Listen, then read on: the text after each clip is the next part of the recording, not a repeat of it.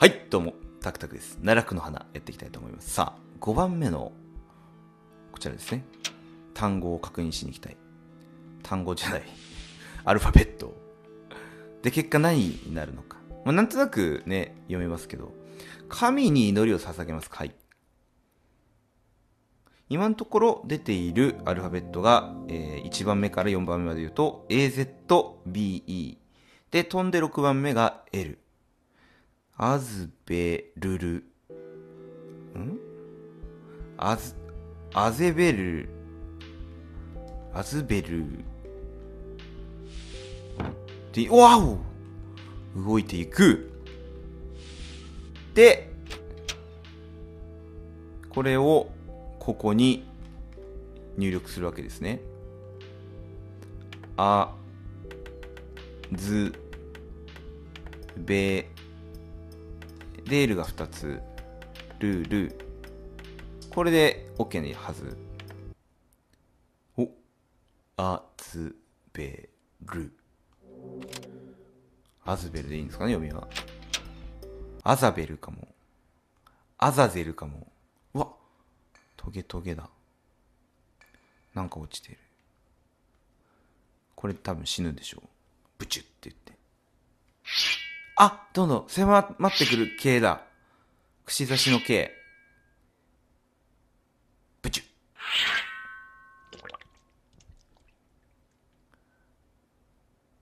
これ最後じゃないのかな？何のつもりだ？アルリカ。こんなところに連れてきて。今からこの教会のこの村の本当の姿を見せてあげる。本当の姿？どうせもう手遅れだから。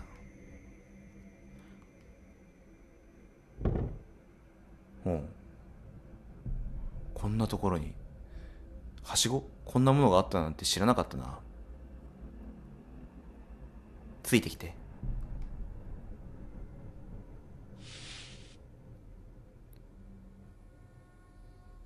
偉大なるアズベル様は血を求められた。アズベルだね。うわ。我らが捧ぐ臓物はアズベル様の血肉は、うん、骨となり、きっと現世に降臨なさってくれる。そのためにアズベル様に煮えよ。その身を捧ぐのです。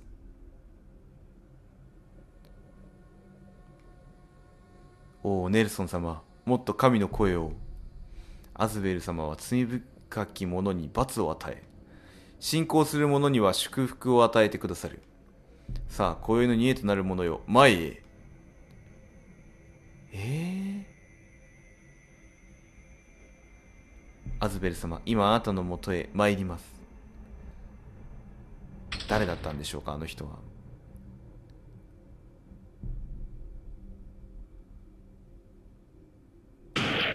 うわ。なんだ？これはこれがこの教会の本当の姿よ。これじゃあまるで、悪魔信仰？そうかもね。でもこれはずっと昔からこの村で行われてきた儀式よ。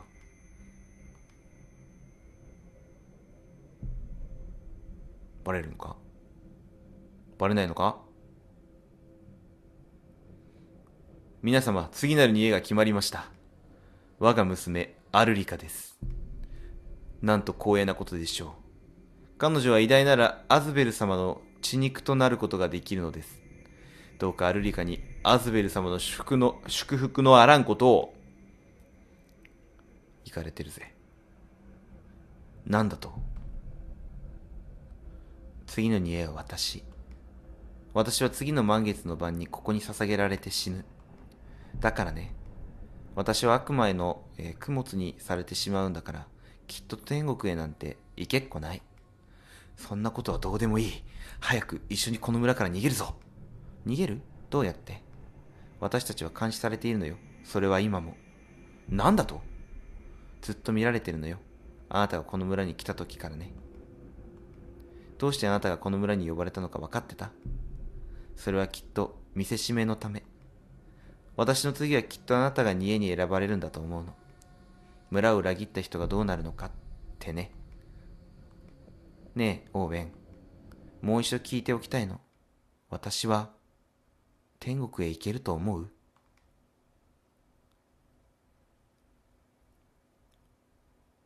知ることは罪だろうが、だろうか。知らないことを知るのは簡単だけれど、一度知ってしまったことを知らないでいるのは難しい。彼にとっての正解はどっちだったんだろうな。これも監視されてるっていうと、本当にじゃあ、殺されて終わったっていうことを、応援、うわ応援も死んだのか。なんか、ででななんか、生存ルートがあるような気もするが、君と彼の幸せは決して相入れない。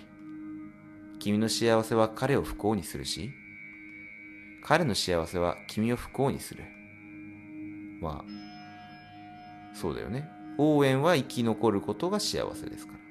この子の、えっ、ー、と、アルリカは、生贄になってアザゼル、アズベルの元に行くのが幸せですからね。それでも君は選んだんだね。それでよかったんだね。ちょっとだけまだ続くのかな、これは。私の死はとても熱かった。そして死ぬ時は一人ではなかった。あ、王園も一緒に焼かれたってことか。多分教会で謎の火災数十名にも及ぶ、えー、及ぶの焼死遺体が発見ということはあれだ皆殺しにしてやろうと思ったんだ。このどこかでやっぱダメだみたいなこと思ったんかな。本日未明なんとか区なんとか村の、えー、教会で火災が発生。調査によると当日なぜか村中の住人が教会に集まっていたとのことでえ、警察は当時の可能、事件の可能性を考慮し、調査を続けております。行方不明者、ネルソン・オズワルド、父さんという、いわゆる神父ですね。オーウェン・テイラー、アルリカ・オズワルド。まあまあ、この3人が主要キャラですか。以降も数十名に及ぶリストが続いている。何かが潰れる音がした。なんだろうねどこで潰れる音がしたんだろう扉の向こうか一回ちょっと戻ってみるかちはあいけるここは何だろう人里離れた村で謎の儀式火災との火災との関係か先日火災が発生したエントカ村の教会の地下にて悪魔を信仰するような祭壇があったことが判明しました火災との関係も追って調査する模様です。お、また何か潰れ音がした。少しずつ明るみになっていく真実。もしかして塞いでたのかな？道を。こっちがアルリカの部屋。あれ？いけないか。うん、読めない。読めない、読めない、読めない。読めない、読めない、読めない、読めない。何者かによって黒く塗りつぶされている取り返しのつかない業を背負うのを感じたどういうこと？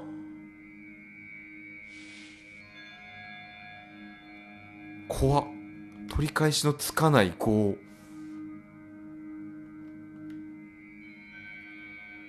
怖え。何その表現。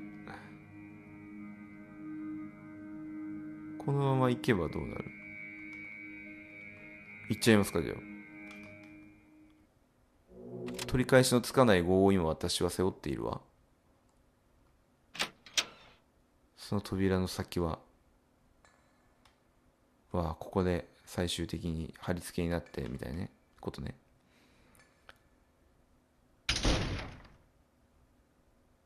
燃えるんですかね。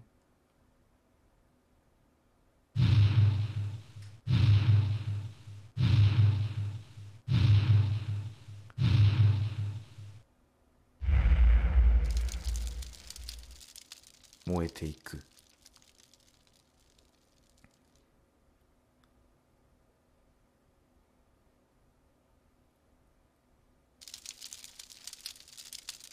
何が起こっている？なぜこんな煙が？火だ火を消せ！鍵がかかっているぞ。教会から出られない！あちこちに灯油が巻かれている。一体誰が？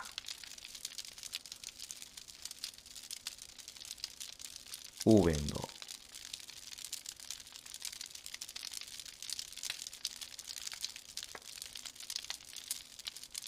なんだ？これは。火事。いやそんなことよりも。アルリカどこだ？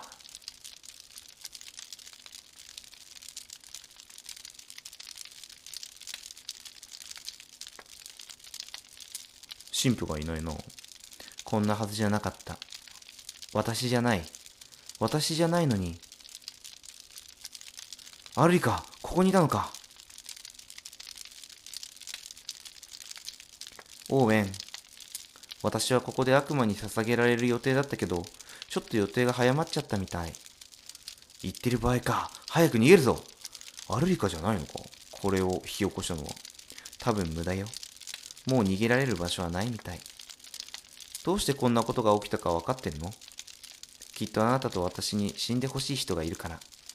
知ったことか。言っただろう。いつかこの村を出て俺が住んでた町に来いって。お前にはもっと広い世界が必要なんだ。逃げろ。うくそ。もう火が。ありがとうオーウェン。せめてあなただけはきっと天国へ行けますように。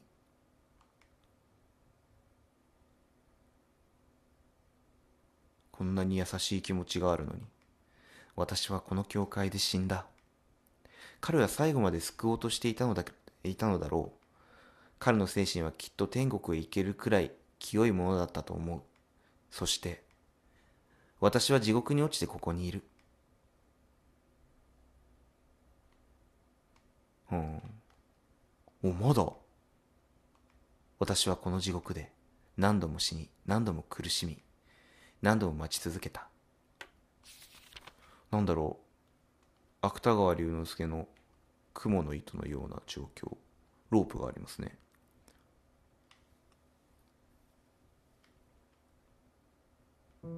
おまさか？天国エンド？行けるのか？天国に。天国に行かせてやってくれ。誰も手をかけてないじゃないかアルリカは。だってやったわけじゃないんでしょ。やっとここまで来たね。お死神さん。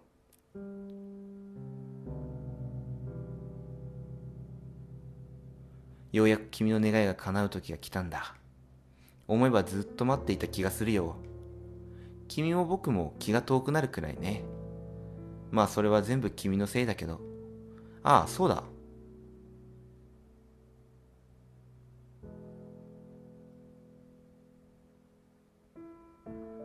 鏡。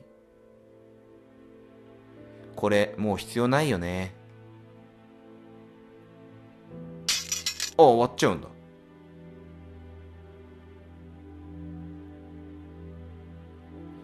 十分自分を見つめ直しただろう。じゃあ待ってるよ。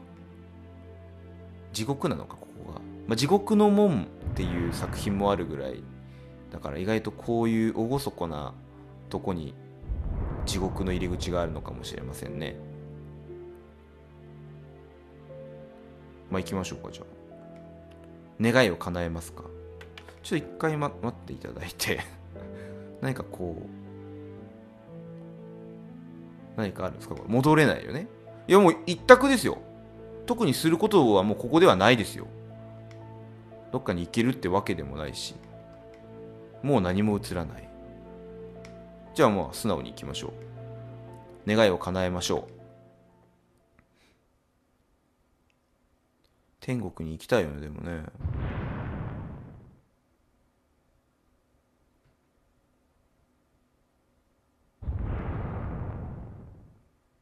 どっちに行ったん？っていうことが気になってしまうが。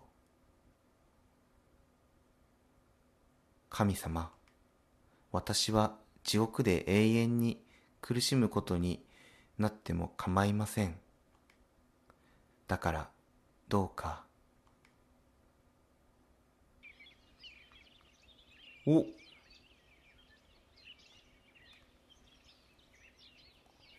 ここが地獄か？あ、オーウェンだ。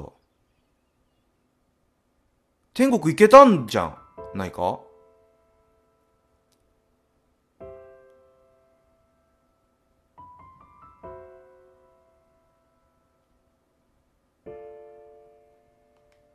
死んだらどこに行くかなんてどうでもよかった。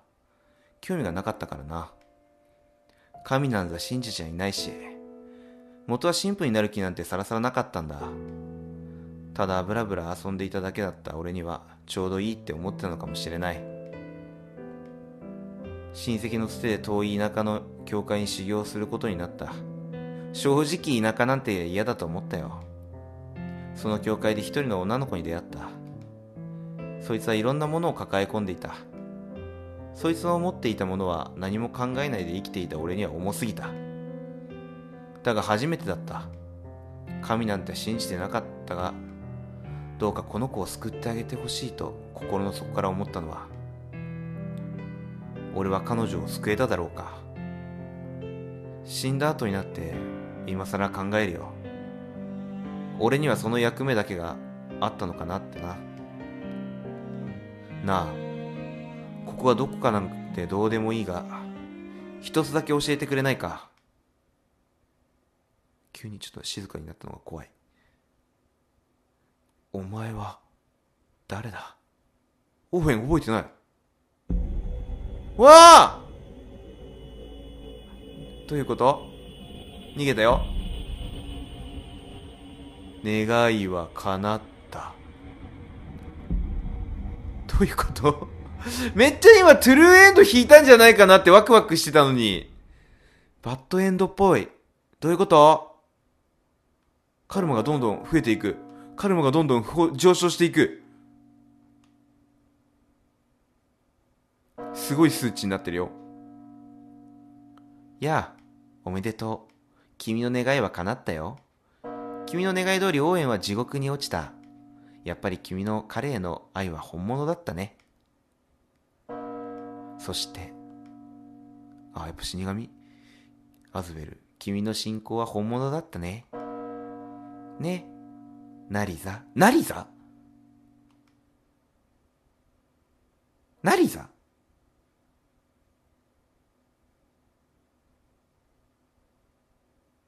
わかった。じゃあこう考えるのはどうだろう？地獄はとっても、とっても楽しいところだ。楽しいところ？そうさ、地獄がとっても辛いところなんて大昔の人が勝手に決めたことだろう。もしかしたら地獄に落ちた罪人たちが毎日パーティーしてるかもしれないぜ。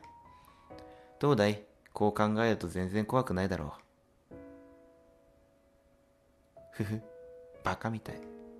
楽しい人なのね、あなた。これはもう、ね、この回想は見ましたけど。お、ようやく笑ってくれたね、お嬢さん。君みたいな子には笑顔が一番だ。でもね、アルリカ。君の人生は自由だけれど、たまには外に出てみるといい。君にはもっと広い世界が必要だ。うん、考えてみる。って言って花畑を見つけたりしたわけですけど。そういえばまだちゃんと自己紹介をしてなかったな。俺はオーウェン・テイラー。これからもよろしくな。これからよろしくな。私は、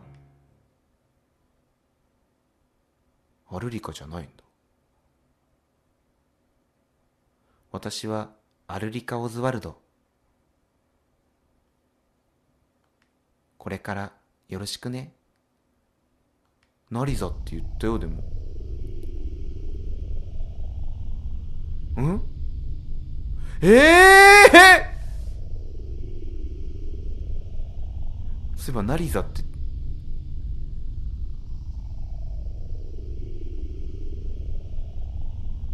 そういえばナリザって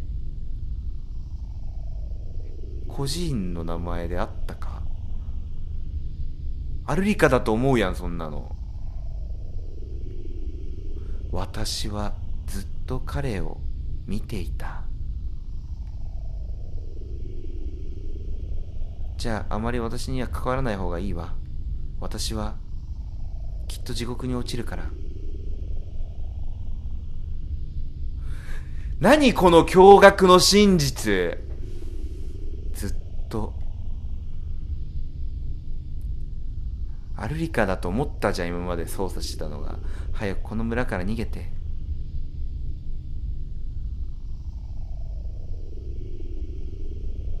これが一番怖えマジで。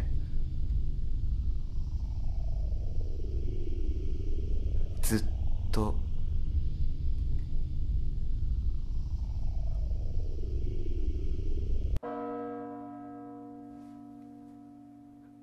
やば。どう考えてもこれがトゥルーですよ。そうなると。どいつもこいつも嫌いだったよ。悲劇のヒロイン気取った生意気な小娘。正義のヒーロー気取ったロリコン男。やっぱあの二人は惹かれ合ってたわけですね。実際は。でも成沢視点だったから気がないことは分かったと。でアズベルは今そのようにその二人の関係を言っているわけです。僕を都合のいい言い訳にして自分自身を崇めさせようとしたクソ神父。みんなまとめて地獄に落ちればいい。でも地獄には本当の悪人しか落ちることはできない。そんな中で君は自ら地獄に落ちることを選んだ。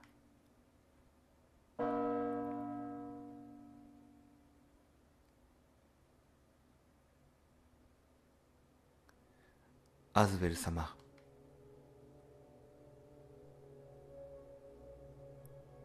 ナリザ。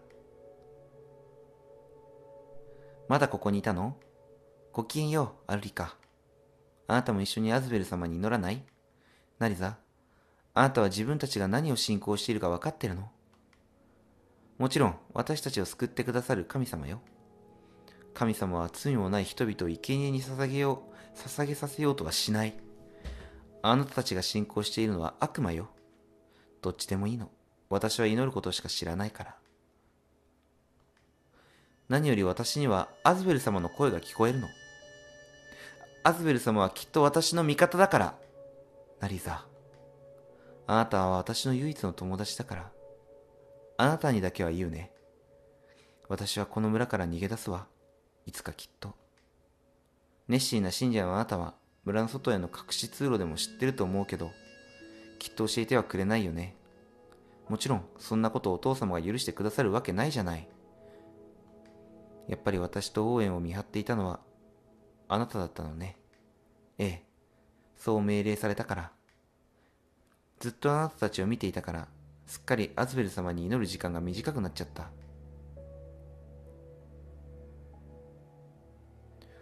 あなた、膝から血が出てる。ああ、ずっと膝をついていたからかもね。どれくらいここで祈っていたの？さあ、5時間くらい？あなたはずっと祈ることしか教えられてこなかったのね。ネルソンにそういう風に教育されてきたから。でもあなたはそんな人生を不幸だとは思わない。自分が不幸だと知らないのは本当に幸せなのかなあなたが何を言っているのかわからないけど、私はえ京都としてアズベル様の声をみんなに届けないといけないから。それだけでいいの。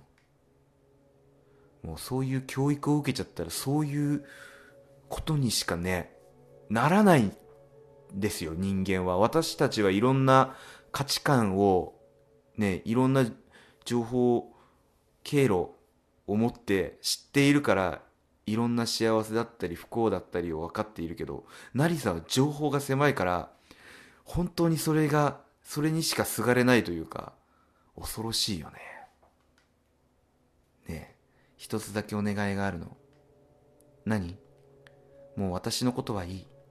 でも、応援だけはこの村から逃がしてほしいの。やっぱり村の外の人間を巻き込むのは間違ってる。そうかもね。でもそれを決めるのは私じゃないから。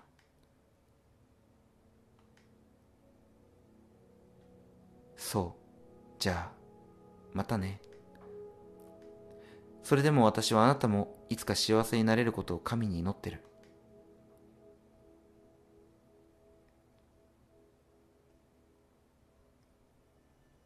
なんだろうな、間違ってんだけど間違ってないというね、それも恐ろしいけど、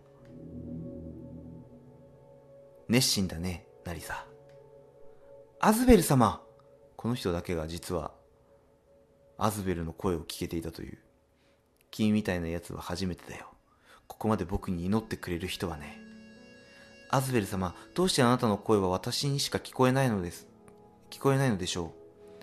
それは君が僕に選ばれたからだよ。他の信者が持っているような薄っぺらな信仰じゃない。生まれ持って僕に祈りを捧げることしか教えられてこなかった。純粋な信者が君に、信仰が君にはあるんだ。それはとても光栄です。アズベル様、相談があります。私は一人の人に恋をしてしまいました。しかし私は彼を誰にも渡したくはありません。どうすればいいのでしょうか？簡単なことさ。誰にも渡したくないのなら、誰もいない君と彼の二人だけの世界を作ればいい。二人だけの世界。死後の世界さ。君たち人間はどのくらい生きること、え、ができるだろう。ほんの数十年の時間に何の価値がある？だったら死後の世界で永遠に共になればいい。天国へ行けるかどうかなんてわからないけど、地獄に落ちるのは簡単だろう。死んだら僕が案内してあげるよ。どんな罪人も来ることのない、永遠に死に続けることのなる、死に続けることになる、とびっきりきつい地獄にさ。その世界ならきっと邪魔者もいない。彼を独占できる最高の世界だ。それは、とても素敵ですね。でも地獄は罪人しか行くことができません。彼は地獄に落ちてくれるでしょうかいい方法があるんだ。僕は君たちが煮えを捧げるたびに力を得る。君たち人間には遠く理解の及ばない力をね。それは天国に行くはずだった魂を地獄に引きずり落とすことだって可能だ。地獄に引きずり落とす。そのためには多くの煮えが必要だ。なるほど。だから皆殺しにしたんだね。彼と君とこの教会にいる信者を全員僕に捧げればいい。それだけあれば僕は誰か一人を地獄に引きずり落とすだけの力を得るはずさ。さあ、ナリザ、言いなよ。君の願いを。アズベル様、私の神様、私は地獄で永遠に苦しむことになっても構いません。だからどうか。あの人も地獄に落としてください。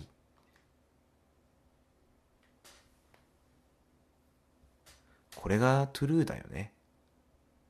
もう他のエンドでどうなろうとも俺はこれで終わりでいいと思っている。それぐらい綺麗にまとまっていると思う。美しさすら感じるこの残酷な物語にさあ君が募らせた罪と捧げた煮えによって、僕は君の願いを叶えることができた。地獄は一度落ちたら永遠に出ることはできない。罪を悔い改めれば救いがあるとか、苦しみには終わりがあるとか、それは人間が勝手に考えた妄想さ。罪人のゴミ箱、それが地獄。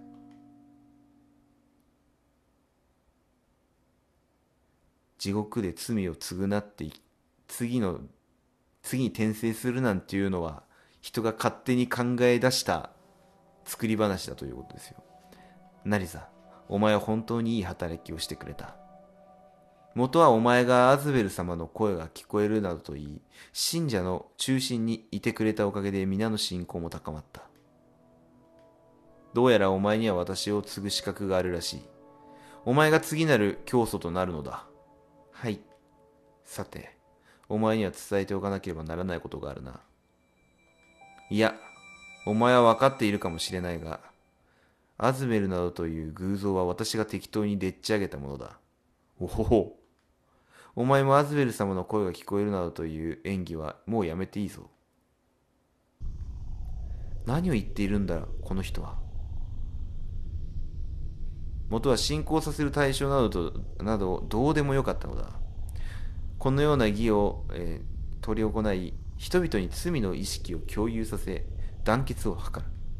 いずれ滅びゆくこの小さな村を一つにまとめ上げるにはこのような方法しかなかったのだ。アズベル様は確かに存在するのに。しかしもうこれ以上はやりすぎた。次第に儀式はエスカレートしついには人を殺めるようになってしまった。全てはアズメル様が望んだことだ。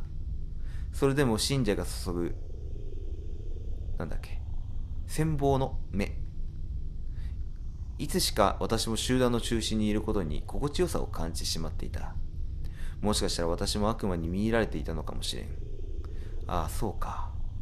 ただ唯一アルリカあいつはいつの間にか私の書庫に、えー、忍び込み村の外の文化を知ってしまった。この村を守るためにもあいつだけは村から逃がすわけにはいかない。この人も異教徒なのか。なるほど。そのためにもナリザナリザなんだ？それは。ナイフです。多分。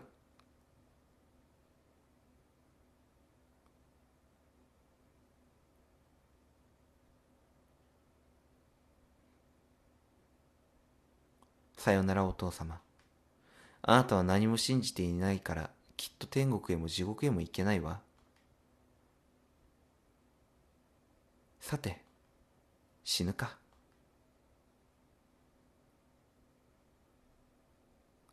その日、私は教会に火をつけた。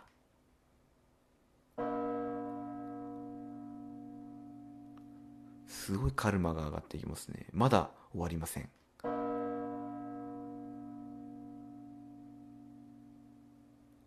君がもっとえ持っていたのは善とか悪とかを超越した純粋な信仰だった。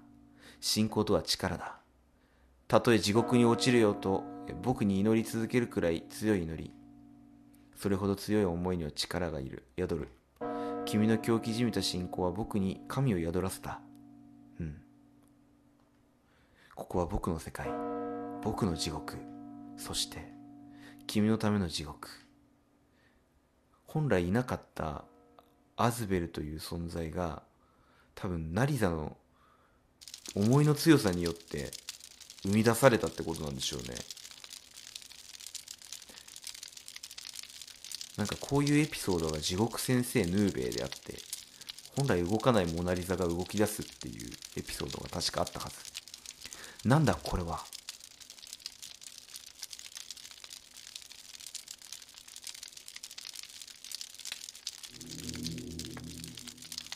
あのクソ神父の死体もちょうど処分できてよかったね。よく燃えるな。これだけの人を殺すんだから地獄行きは間違いないね。おめでとう。それにしても、アルリカどこだ？最後まであいつとは目も合わせないつもり？私と彼の初めましては奈落の底でって決めたの。彼が私を認識してくれるとき、それは彼が私を愛さざるを得ない環境になるから。ふーん、なるほど。存在を知らせると、あの時のやつみたいなことになるってことだよね。だからもうその地の底で愛する対象が成田にしか向かないわけだから、すげえ考えてるの。君の考えることはよくわからないや。まあ、悪魔の価値観じゃ測れないのかもしれないな。まあ、そういうことで。地獄で待ってるよ、ナリザ。ええ。あなたにお会いできるのも楽しみです、アズベル様。いや、これやべえな。この話めっちゃおもろいな。すげえ。すべては彼を地獄に落とすため。私のアズベル様への信仰を証明するため。アズベル様は私の願い通り、応援を地獄に落としてくれた。願いは叶った。さあ、彼のもとへ行こう。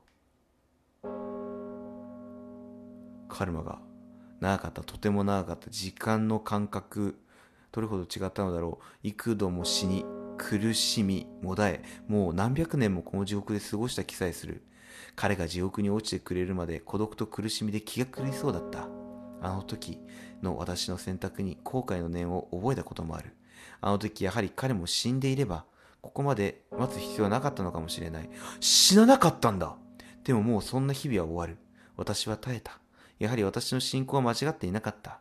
願いは叶ったのだ。彼と永遠にこう奈落の底にいられるのなら、ここはきっと素敵な場所なのだろう。二人はじゃあ何とかして逃げたのか？えっと、そういうことだよね。彼への思いが強すぎてあの場では殺せなかったっていうことなのか？ありがとう、ナリザ。君を選んで本当によかった。ここはとっても辛くて苦しい場所だけど、愛しの人と一緒ならきっと耐えられると思う。君は地獄に落ちて当然の罪を犯した。でもね、僕は思うんだ。人を好きになることが悪いことのはずがないよね。さあ、この永遠に救いのない奈落の底で、どうかお幸せに。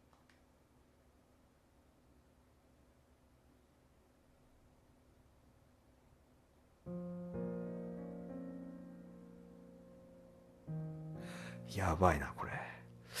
俺、これの続きできない気がするな。完璧すぎて、このルートが。いや、なんかもう、エンドが3つあるって言ったけども、このエンド完璧すぎませんか？これ以上やるのがもう打足にしか感じられない。すげえおもろかった。なんだろう、ストーリーが完璧すぎるし、カルマのシステムも、なんか、このエンドに向けてのシステムとしては完璧だし、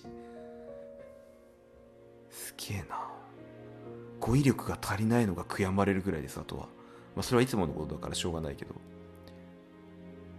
なんというか、この閉鎖的な環境で育った幸せの幸せなのかもわからないそれが。うん。価値観で縛られたナリのねそういう窮屈な思いがあるんだけどでもちゃんとその先の幸せも自分で考えての結末がやばい。あオーウェンだ。同じルートを歩いてんのかな？ナリが言った。地獄に落とされたから。そこにナリザが追いつくと。